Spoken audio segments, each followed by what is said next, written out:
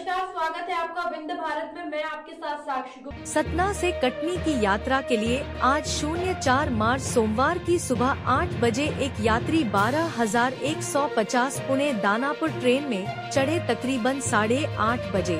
उचेहरा पहुँचने से पहले अजीब डरावनी नागा बाबा अघोरी साधु टाइप वेशभूषा में चार पाँच लोगों की गैंग ट्रेन में घुसी और पैसेंजरों को डरा धमका कर पैसे वसूलने लगे।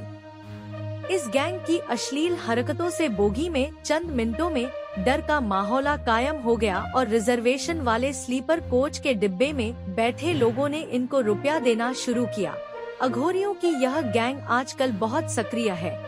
जीआरपी और आरपीएफ की ट्रेन में पेट्रोलिंग की खुली पोल।